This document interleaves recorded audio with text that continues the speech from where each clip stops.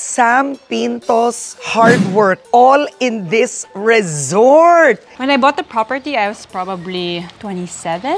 27. It all started kasi na mahilig ako sa beach. But how did you know he was the one? Love and everything. Uh. So he has to be. Hungry mermaid. Okay, everything here is mermaid. This is my dream. Everything that happens to you, your decisions in life, is because of your family, what happened to you in your childhood. Hello everyone, welcome to my YouTube channel. We are finally here. After five hours on the road, we are now at Sam Pinto's Beach Resort. An amazing story of how she invested and built the resort of her dreams. Hello! Hello! Hello there! How are you? Hi, Sam. Hello. Hi! Say hi. Hello. Hello. I am Tita Karen. What is your name? Nina. Okay, Sam, it's How so are nice you? to be here. Thank you for coming. gosh, ah, this is, guys, amazing. Look at it. Sam Pinto's hard work. All in this it. resort. So, Sam, how old were you when you first bought this? When I bought the property, I was probably 27. 27. And how big is this property? 3.5 hectares. Oh my Okay, ikuti natin. So what is this area? So when the guests come, So when the guests come, this is the reception. nice. Uh, the reception is the newest addition building. Wala to Okay. dati, kasi doon yung reception dati. So, Oo. parang we feel like we need a reception that's bigger. Yeah. What does she want? Ding ding. She Ding, wants ding. to press the ding Ah, ding ding. ding here. Ah!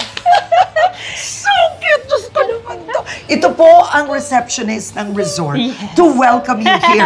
Okay, so so you put the swings here and then look at that. Okay, Oh, let's go here. So this is our mini shop. Oo. 'Cause Is I- this a line you designed? Yes, I actually have a swimmer line. It's Okay. called Sirena as well. Oo. so we sell them here. And these are the mermaid blankets. Yes. Why did you call the resort La Serena? Because I'm a mermaid. Ah, hindi talaga. You embody the mermaid mermaid talaga ako. As in, Oo. I learned to swim first before walking. So parang So what age did you learn to swim? super baby pa. Talaga? Less than one, I Oo. think. My mom let go me na sa, sa pool. So you can shop here. This is your brand. Nagde-design ka na. Yes, I took up fashion design. Yeah. And then I still continued the passion and the love with swimwear. Kasi Yeah. nga para lahat connected. Resort, swimwear. Meron din akong clothing line. But it's resort wear naman siya. Yeah, like this, this is so bagay. this is so you if gagawa ka ng gantong style. Right? Right? Yeah. Yes. Super. Wow, okay. Tignan lang po natin ito. Ang earrings ni Sam ay hindi lang po nasa tenga. Ay, nandito rin po siya. so, what, what do you call this? A, Belly ring. a belly ring. When did you have High school pa ako Meron niyan. ka na yan? I know, right? Oh I'm one of those. so when guests come, of course, they check in. Yeah. And the first thing they see is this lap pool. Yeah, beautiful. So this, actually, we call it lounge pool. Oo. Because mababa lang siya, 3 feet lang siya. Kasi it was designed to be just lounging. You sit Oo. and drink with your friends. And now that I have a kid, perfect din siya for kids. Kasi Yes. baba lang, walang malulunod. I wanted to ask you, how many rooms does La Serena have? We have 15 rooms. 15 rooms, and per room, how many people can one room accommodate? All rooms are good for four. Wow! So technically, how many people total? 70? 70. Oh, wow. And you are hands-on sa resort. Actually, my sister's the one handling the operations. Oo. Ako sa marketing, ako sa designing, Yeah. ako sa fixing. Uh, which is good, no? May balance. So let's look at one of the rooms. So this is the deluxe room. Yes. Ah, sarap wow. ng aircon. Ang ganda. I love the interior. So the room is designed talaga for families and friends. Kaya two queen beds and can fit four people. And I would have to say, uh, the room is big. There are three designs per room, hindi sila pare-pareho. And then this is one of them. Oh, it's all Pinterest. No way. So you didn't get an interior designer per se? no, it was all me. Ako Ang galing niya. Actually, it reminds me of like Greece. Greece? Parang you're in Greece because it matches with the curtains. Check out the curtains. All white. And pansinin nyo the little details of Sam. Sam, explain this. Her curtain holder. Oh, you know, mas maganda yan dati. May shell pa nga yan dati. Pero ninanakaw Oh, oh. ng mga tao. Bila, isa-isa sila nawawala kasi Oh, it's so oh. nice. It- there used to be like a dangling shell. Yeah, there. but look how But beautiful. I made those. Ginawa mo to? Ako gumawa ng first batch niyan with all the shells Oh, na inuwi. Even Okay. these, ako gumawa na. No, wait, Sam, you made these? I made those. I glued all of Oh, them. wow, wow. Labor of love pala Oh, ang resort mo. So it kept you busy and it kept you creative. Exactly. And look at this. I thought it was wallpaper. Is it? It's a mural, spray painted. Look at that. Whose idea was this? Yours? All me. Oh my gosh. Kasi my family travel a lot. Eh, tatlo kami in Oo. one room. So kung may nagsha-shower, hindi mo na pwede gamitin yung toilet. Oo nga. So Yeah. at least with this one, one can shower, the other one can brush their teeth, Yes. and one can use the toilet. Yeah. Okay, but you do have bigger rooms. We do have bigger rooms. It's a super deluxe. Ang actually difference niya lang is mas malaki siya. Oo. And we can actually put a extra bed so it can fit six people. yeah. Oh, lit, ang ganda nito. There's a Yeah. hammock. There's a swing. Swing, a hammock and a swing in every room. Yeah, That's beautiful. So now we move on to this is actually the gazebos. Nice. Then people like to sit here. Yes. Chill. Well, their kids are swimming. Whoever's swimming, they can sit here and So, chill. do you think you'll retire here, no? Pwede. Yeah. You're really here all the time. Yes, for Dito sure. I'm just waiting for Anthony. Oo, oo. No, it'll be a while before you retire. Definitely. How old are you now, if you don't mind? I am 33. Gosh, guys, I wish I was 33 again. Ang hirap nito. I'm in my 50s. Uh, di ba? Bata pa! Oh yes, gosh. forever young. You'll be working for a long time. Yeah. Yeah, right? Yes, this is non-stop. This is the super deluxe room. Yes. Ang difference nga niya is it's bigger and it has a connecting door. I see. This one. Can we see that? Th- Will it open or there's a guest? There's a guest. There's a guest. So talagang you can do big families here and here. Exactly. I'm curious, pag ganito, what is the rate per night? This is 6,500 a night. Oh, 6,000 pretty good. The deluxe room is 5,500 Kasi a night. six, five a night and you Apat can have kayo. four people here. Yes. That's so good. So ito naman iba, may mirror, it doesn't have the canopy. Yes. Doon lang nag-change no ng konti. Meron, may guest kasi sa isang kwarto. But Oo. the other one has mosquito net naman na nakaganon. Ah, talaga? Yes. My gosh! Were you ever like rebelde? Or you were like a good girl? I think I was mostly good. Yung mga rebelde ko lang, mga piercing. Ah, yun lang, yun na yun. Dati I had like nine Oo. piercing. Oh my gosh! Yeah, because my mom din parang pinapayagan naman kami gumimik. Oo, Hindi oo. naman siya sobrang strict, so not really rebellious. Yeah. What was the one job that changed your life? Definitely Pinoy Big Brother. Yun talaga? Yun talaga. Oo. Bumaliktad na yung mundo ko after that. Oo, yeah. So now we're in the restaurant. Okay, so it's called Hungry Mermaid. Okay, everything here is mermaid. Kasi mermaid si ano. Oh, wow, this is so nice. Look at that. So the restaurant is a homegrown restaurant. Yeah. Originally, we may ibang nag-handle management nito eh. But hindi na kinaya. Kasi from Manila siya. Oo, oo, oo. So I don't cook, my sister don't cook, my mom doesn't cook. So wala kaming alam sa restaurant and food. So at least the people here, they're super magaling. And Yeah. they guided us talaga. So, ang nangyari, you hired locals. Yes, they're all local. Ang galing. So, what does the restaurant serve? Mostly Filipino foods and may mga seafood. Kasi syempre Yeah. nasa beach tayo, so Yeah. kailangan ng mga seafood. Sam, a resort that's fully yours, fully paid, before 30 years old. Paano mo nagawa yun? Actually, it all started kasi na mahilig ako sa beach. That's the number one.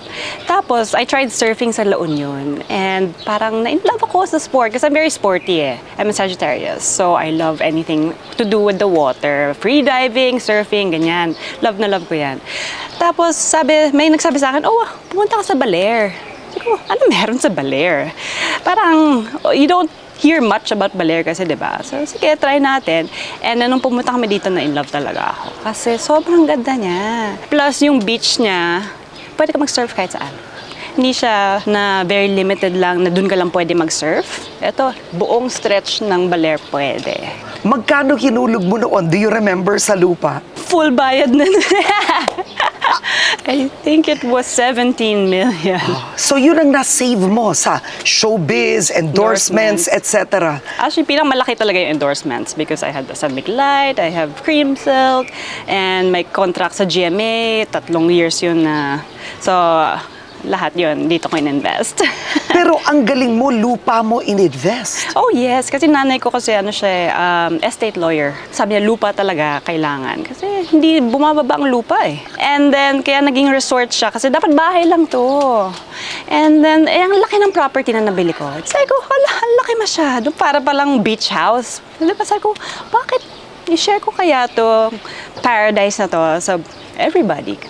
So, ayan, nabuhay ang resort. And also, yan yung end goal ko eh. After showbiz, kasi hindi naman forever ang showbiz unless you wanted to. Gusto ko tumira sa beach. And then, business ko na din, di ba? So, it's a win-win situation. I live in the beach and I make money. Nung tinatayo mo to, were you already married Not to Anthony? yet. You were still together. Yes. Oh. Actually, not yet together. Because the resort is seven years old. Kami ni Anthony, all in all, five years na kami. Married two years pala. And what did he say when he saw you that you had this resort? Mas lalo siyang na-in love.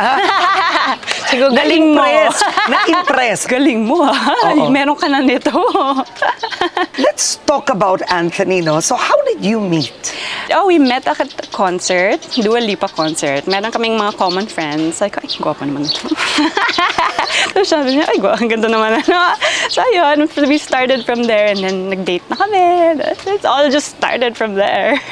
What was different about dating Anthony compared to, let's say, being with somebody who is fully in showbiz? Kasi see, Anthony, of course, he's a basketball player. Mas feeling ko mas private siya ng konti. Not like someone, an actor who's in showbiz na everybody knows him, buong buhay niya, alam ng mga tao. Half private, half not.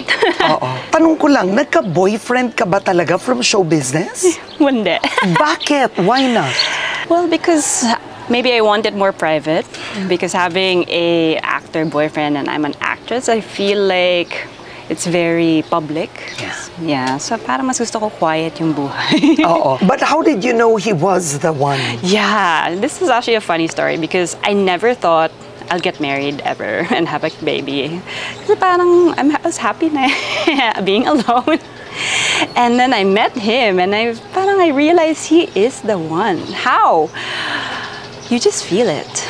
Kasi parang I've been through a couple of boys, boyfriends. Outside of showbiz? outside of showbiz, parang hindi eh. Even if I tried, uh, ko ma-imagine sarili ko na papakasalan ko siya. With Anthony na imagine ko, ganon. What was the wedding like? Oh my gosh, the wedding was very intimate. Kasi apat lang guests namin. My mom, my sister, his twin brother, and the wife. Why did you decide na apat lang kayo? Because it was the peak of pandemic. so it was very intimate. It was in a Con- Conrad Hotel. And but it was so pretty and it was so nice and very dreamy, very with the sunset. What was that like marrying during the pandemic? And then naka naka ano lang, naka live yung parents niya sa Australia. Kakaiyak know, naman. They couldn't fly or anything, but this was kasi set matagal na eh. As in, bayad no lahat. Tapos, Oo. uusog ko pa lahat. So, ko, tuloy na Oo. natin. What has changed nung ikinasal ka? Having someone there for you all the time, is para kaming best friends, para kaming friend. As in, te- lahat pinag-uusapan namin. Oo, and hindi ka ba natakot no nung nabuntis ka?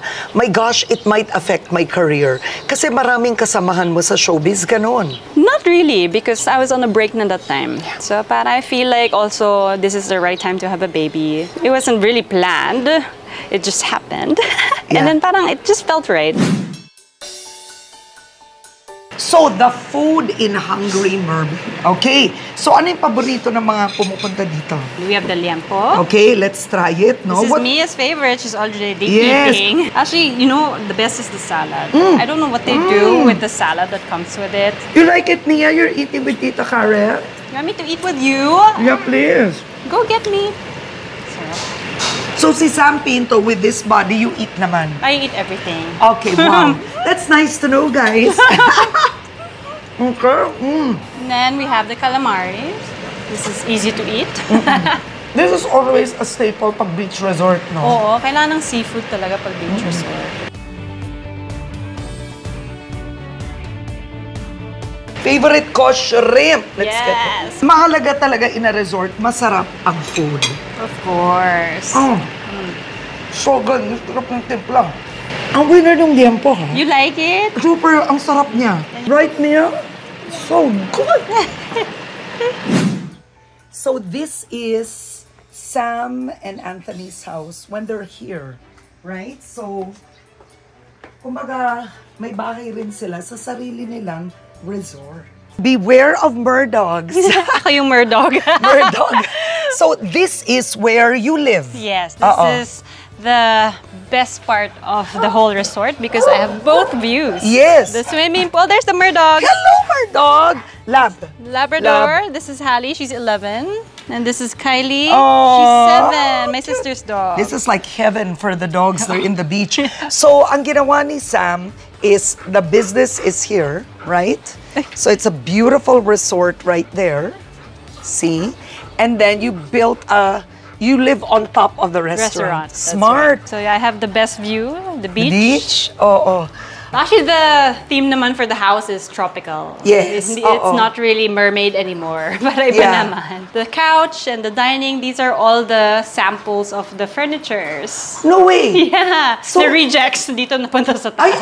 Galing. So, talagang nagtipid ka that way, which is good. Smart spending. I didn't have to buy the couch. Oo. I didn't have to buy a dining table. Because wais si Sam. Yun yun. So this Oh. is my room. Guys, ang labig aircon. bigla dito. Ang sarap. Oh, oh, wow! This is so cute. Hello there! What are you doing? Playing. Ano to? IKEA lang yan. Ay, ang galing! It's really a bed na yun talaga ang headrest?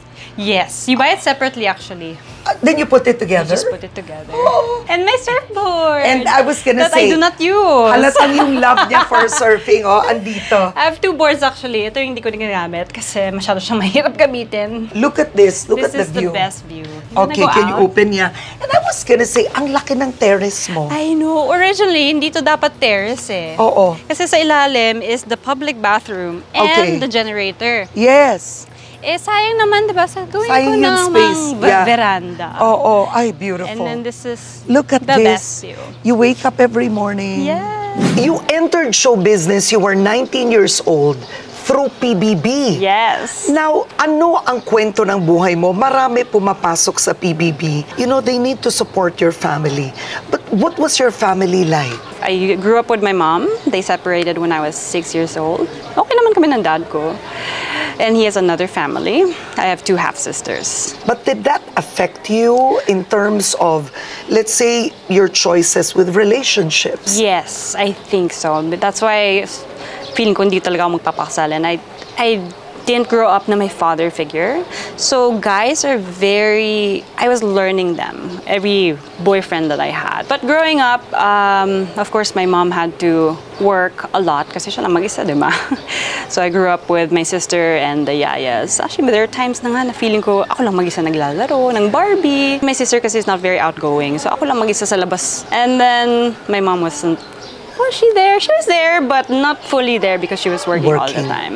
How did you Oh, yes, join? Because I was already with Viva that time. And then they were asking me, oh, meron auditions ng PBB. Do you want an audition? It's like, oh, okay, why not? Like, Pero did you want to be talaga in showbiz? no, that's another thing. Oo. Never in my life na naisip ko Kasi nasa, mag-showbiz sabi ako. mo nasa Viva ka na. Yes, kasi um, I signed because of Claire de la Fuente. Paano? Ah, I did a music video with the band Mayonnaise. Parang I think she was handling them that time. And then, sabi niya, oh, try mo mag-artista. so she brought me to Viva. So, okay, why not? Oh, I was doing commercials already kasi since I was... A teenager. Yeah. Yeah. Because you are one of the most beautiful faces I've seen. I told you that. So I was like, oh, okay, maybe, because I'm sort of game for anything. Why not try? If it's there, yay. If it's not, it's also okay. And then biglang lahat ng opportunities nandyan na agad-agad. I'm like, whoa. And, this, the hard part for me though is I wasn't prepared for showbiz. Like, I didn't do singing lessons, acting lessons, dancing lessons. Sinalang na lang ako agad. Oo. Ah, pinapasaya ko in live TV. Hindi naman ako sumasayaw in my life. So I had to learn the hard way. Oo. And then you joined PBB. Yes. That year, who won? Melay. Do you remember that experience? Oh yes, very much so. We were doing so many things, but felt like it was so slow and then you learn things about yourself na ay, kaya ko palang gawin to. Kasi they challenge you eh. Mentally and physically, you learn to handle all the stress and all the pressure na pinapagawa sa'yo. And then, in the end, you'll realize, ay, kaya ko pala. Do you remember when you first earned your 1 million pesos? Yes! And what did you do with the money? Nothing! Just put in the bank and save. So saver ka. yes. I actually bought the I bought my car. Oo. and uh, after that, one bag. And I realized, hindi ko naman ginagamit yung So bag. hindi ka maluho. Hindi talaga. I have just my basic bags, basic shoes, pero that's it. Pero the way I'm seeing you now, you're not really ma-showbiz. Not really. Not at all. Oo. Talagang gusto mo yung buhay na simple. Sobrang chill lang ako.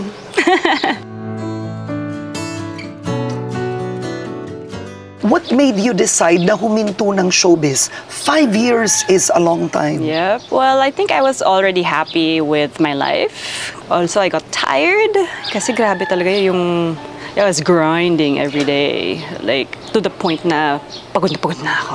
Parang like, oh, gusto ko pa ba to? I was asking myself. And then I was like, why not stop muna? And then think of my mental health. And then be just be happy for a little bit.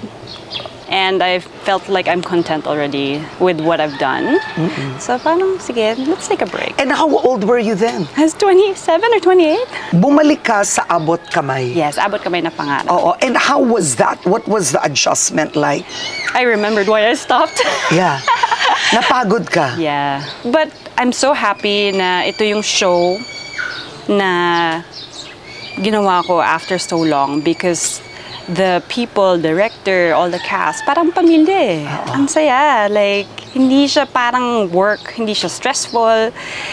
And yeah, and the adjustment, my gosh, kinakabahan na naman ako ng first take ko. I, have, I feel like I haven't done it in so long.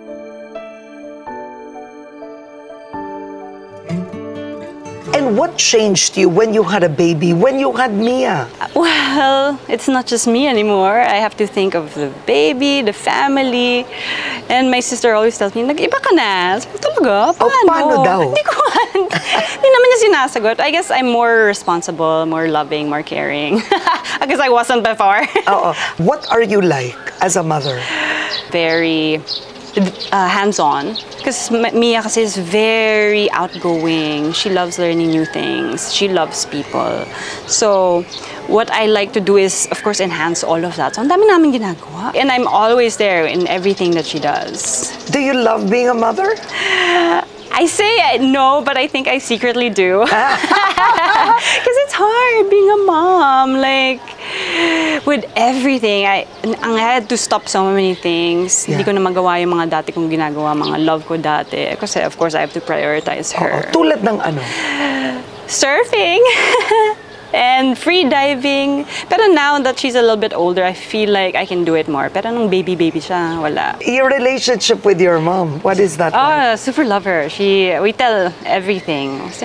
Para kaming friends. Minsan sasabi niya, oh sis, Ay, sis. sis.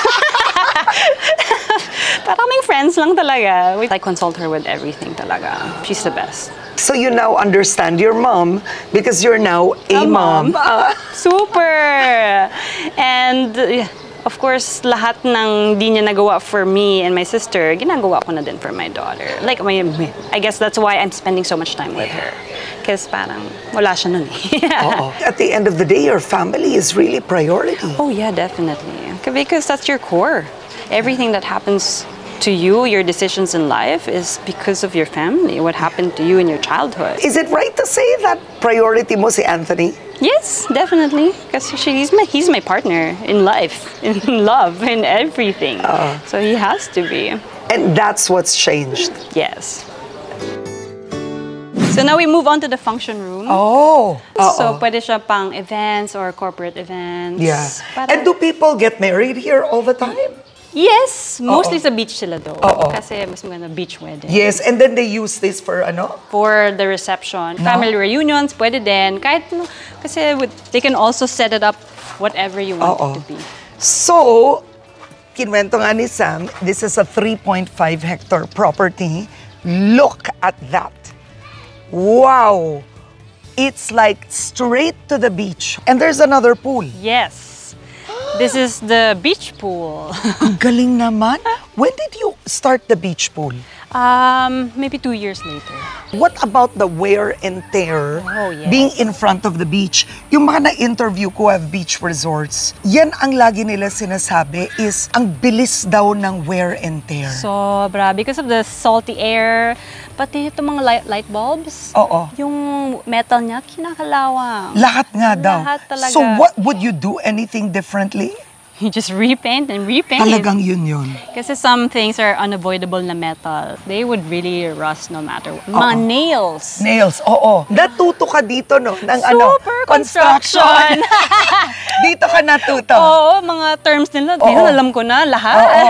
Okay, look at this. Every area has a mermaid Blanket. blanket. And, and sino na sino nagtahi nito? Can buy that in Shopee and Lazada. Ay, ang galing mo naman. Pero yan ang look ko. I love it. So let's sit down to see this. Okay. Ay, ang ganda. So if you want to rest, right? Yes, You lie down here. Okay, let's check this out. So this is Wow. the other pool na may beach view. Yes, ang ganda. So this pool is a bit deeper than the other one. Four feet naman to. Alam mo, you're very young and I know you bought this property in your 20s, pero to build a resort is a whole other... I know. I Yeah. don't know what I was thinking.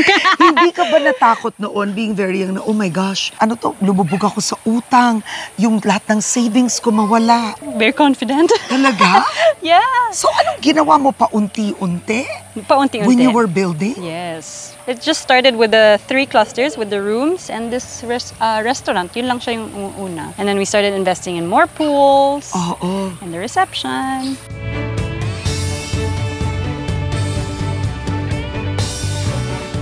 Now we move on to the surf shack. Yeah. And this is Diego. Oy, hello! Hello po. Mga taga-Baler lahat kayo. Siya yung surfer instructor namin ng resort. Parang siguro ang saya mag-surf dito, no? Kasi hindi mabato. Exactly. Hindi Puro dangerous. sand. And, and, but the waves are, are good. Yes, Wow. but flat siya ngayon, no? Look at that. What a dream to actually wake up and have the ocean in front of you. Pangarap ko to sa buhay. Alam mo yon, ang feeling ko kaya ako attracted in doing house tours, farm tours, beach tours. Kasi, Kasi deep inside, di ba, yun ang wish list nating lahat. See? Grabe yung waves. Sarah, this is actually very calm. Oo. Pag summer kasi, hindi na nga summer. Totoo yung global warming, guys. Yeah. Pero explain this. Punta tayo dito, Oh, look. yes. Yeah. So, this is the beach warning flags and the rip currents. So, yung beach warning flags, sinasabi, don't swim, of course, if it's Oo. red. Kasi grabe yung waves dito. It can be Oo. very, very... Yeah, now it's low hazard. So You- green yung flag. Green. So, you can swim. It's, it's not scary. And then explain this. This is good. the rip current because of course ma- malaking waves dito eh. Oo. So when you see a rip current, hihilahin ka palabas niyan eh. So kung feel mo palayo ka na ng palayo, mag-swim ka sa side kasi diyan bumabalik yung tubig pa-wave. I didn't know that. Yes. You Wow. That's rip currents. Diyan normally nalulunod yung mga tao. But look at the beach, ah.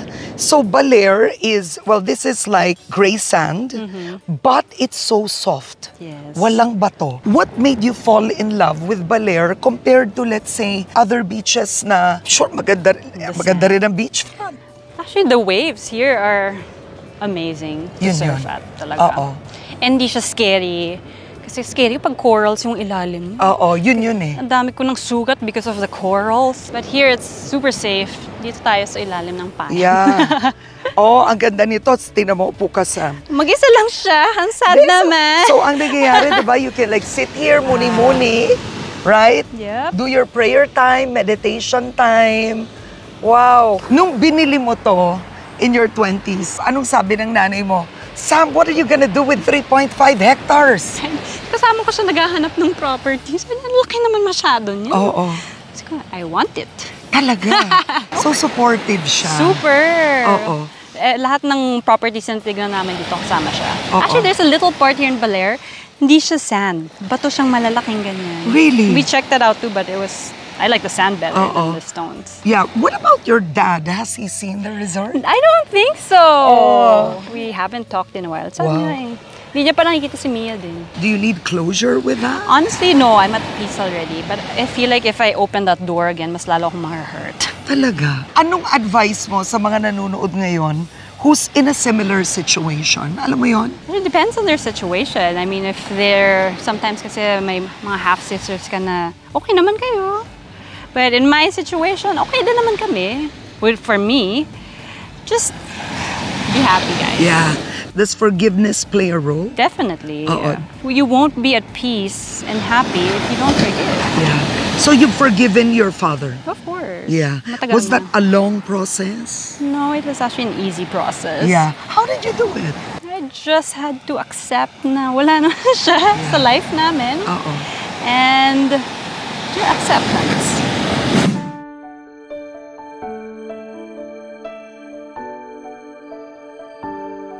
What is the biggest misconception about you? Ooh, I feel like maarte ba ako? Sinasabi na maarte daw ako, masungit daw ako. But am I? I don't think so. No, kasi I'm very chill eh. Kung di mo ako kakausapin, di din kita kakausapin. so, I fe- maybe they think that I'm masungit because of that. What is your long-term plan, vision? Long-term plan vision is to put up more resorts. We're actually looking at other beach properties na. But this is hard. Oo. Oh, oh. Kasi we have to find out. This took me a year to find this property. As in, buong Baler inikot namin. But right now, we're looking for another beach property. We're thinking of Lucena, so at least two hours away lang from Manila. So yeah, to put maybe a chain of resorts or Airbnbs. Ang galing. So you are really a businesswoman. I think I am. And what about Anthony? well, after basketball, he's gonna join, of course, the business because he's a foodie eh. Mahilig magluto yan. So siya na bahala sa restaurant. Wala akong alam sa pagkain. Oo. Would you say you are your happiest today? yes, I would say I'm, the, I'm my happiest today. Oo. Like very content with my life. Yeah. Is there a verse or a motto that you live by, a mantra that it describes who you are? Just follow your dreams. This is my dream. And if it's your dream, kung mahirap or all the hard stuff about it, you will take it as a good thing. 'Cause- and you'll learn from it and make everything better.